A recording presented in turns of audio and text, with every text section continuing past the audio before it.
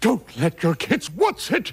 Before you know it, they're going to be eating sports candy and moving and running and jumping and dancing and being healthy.